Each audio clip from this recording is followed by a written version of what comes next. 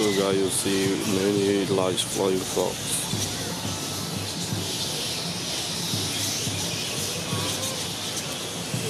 A lot of large flying fox.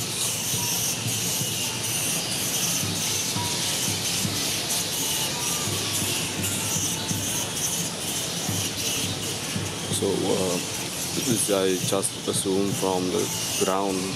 It's so far from the ground, so